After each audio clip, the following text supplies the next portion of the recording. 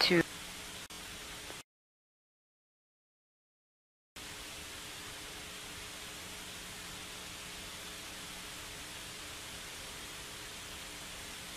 We are currently currently receiving downlink from Discovery as it passes over the Pacific Ocean.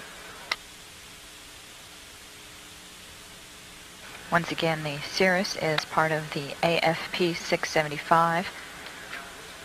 The problems that have occurred with the two tape recorders on AFP 675 have had no impact on CIRRIS.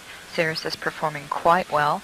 The community, the payload community working with that particular instrument is very happy with the active with the data that they've received.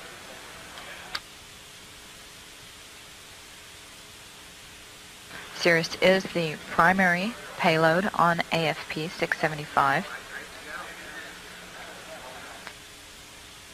The recorders in question um, are related to the secondary payloads, specifically the FAR UV, which is which performs imaging and photometry of natural and man-made ultraviolet emissions, the Uniformly Redundant Array, or URA, which measures spectral and spatial characteristics of the Earth's horizon, and QUIMS, the quadrupole ion and neutral spectrometer, which determines and identifies contamination for CIRRIS.